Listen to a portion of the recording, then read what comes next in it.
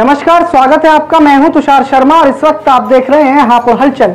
उत्तर प्रदेश के जनपद हापुड़ के ब्लॉक गढ़मुक्तेश्वर के गाँव अलीपुर में ग्राम प्रधान पर ग्रामीणों ने करोड़ों रुपए घोटाले का आरोप लगाया है। आपको बता दें, जनपद हापुड़ के ब्लॉक गढ़मुक्तेश्वर के गाँव अलीपुर में गाँव के ही पाँच लोगों ने आरटीआई लगाकर वर्तमान प्रधान पर करोड़ों रुपए घोटाले का आरोप लगाया है, जिसमें ग्रामीणों ने बताया कि प्राथमिक विद्यालय का सौंदर्यीकरण शौचालय निर्माण स्ट्रीट लाइट नालियाँ, सड़कों में धांधली का आरोप लगाया है। वहीं आज गाँव में जाँच टीम आई तो लोगों ने अधिकारियों की मौजूदगी में प्रधान पर घोटाले को लेकर गंभीर आरोप लगाए। इस वक्त हम खड़े हैं ब्लॉक गढ़ मुक्तेश्वर के अलीपुर गाँव में। हम पूछते हैं, जो जाँच करता आए हैं, पाँच लोगों ने आरटीआई के द्वारा यहाँ पर जो प्रधान द्वारा घोटाला का आरोप लगाया है, पूछेंगे इनसे, क्या है पूरा मामला? क्या नाम है आपका? जय प्रकाश हाँ। तो ये जो अभी जाँच कमेटी आई है किस मामले को लेकर आई है यहाँ पे? ये तो गाँव को बैक आने को आई है। जिन पॉइंटों को गए जिन पॉइंटों क्या नाम है आपका? बता दो। सिंह। सिंह जी क्या मामला है जो जाँच कमेटी यहाँ पर आई है? जो विकास कार्यों में जो भी कार्य हुए उसमें घोटाला करा गया है।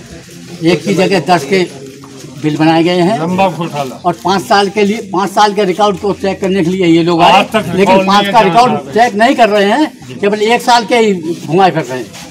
तो कितने रुपए का घोटाला मानते हैं यहाँ पर जो बताया जा रहा है? पौने दो करोड़। हम बोल उधर देखो। बता एक सवा करोड़ का है।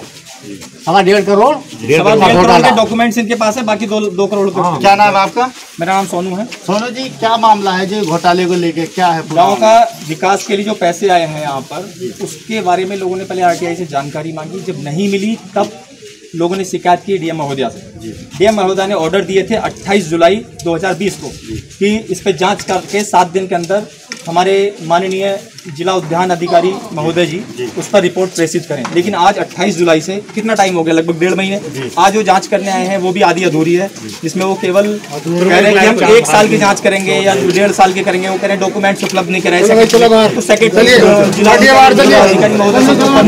वो डायरेक्ट जिला अधिकारी महोदया के आदेश की डायरेक्ट अवहेलना एक सेक्रेटरी कर दे एक प्रधान कर दे एक छोटा मोटा अधिकारी कर दे तो ये औचित्य बनता नहीं कुछ इससे सीधा साफ़ हो रहा है कि इसमें कहीं ना कहीं कुछ ना कुछ धांधली है।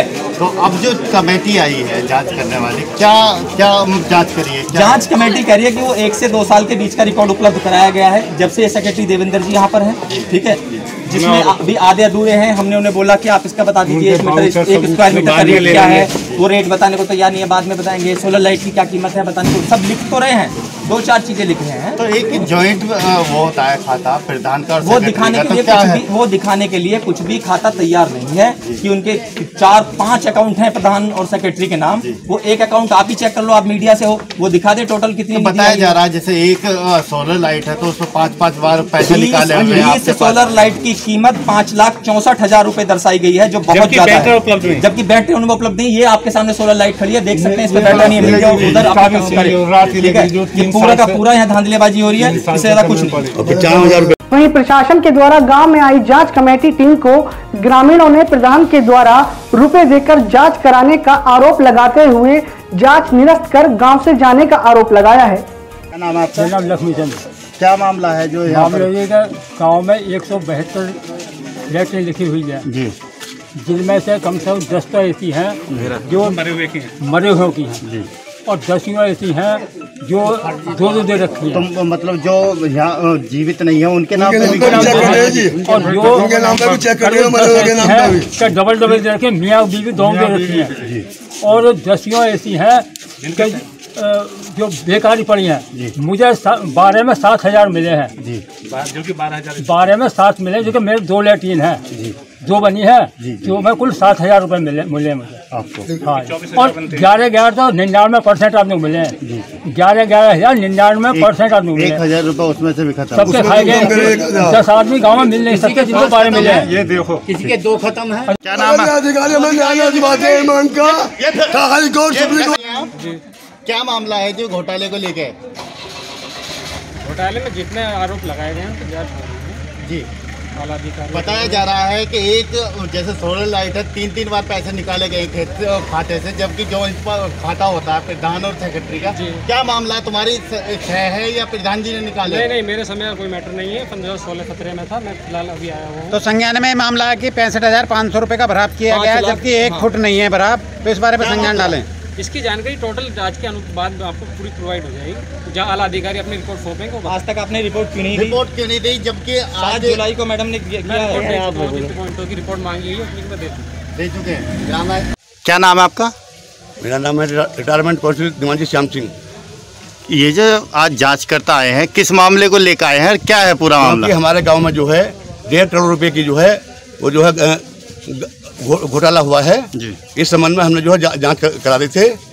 लेकिन ये जो है हमारे जो है हर पॉइंट पे क्या क्या टाल देते हैं कि हमारे पास रिकॉर्ड नहीं है। फिर फिर जाँच होगी इसकी।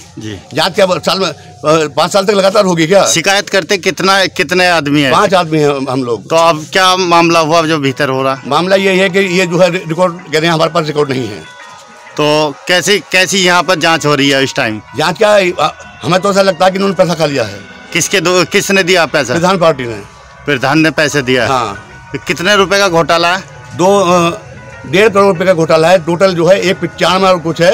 लेकिन चालीस पैंतालीस लाख का काम केवल हुआ हमारे यहाँ। तो प्रधान ने गाँव में कोई कार्य किया है या नहीं? काम क्या बस चालीस पैंतालीस लाख का काम करा है। जी।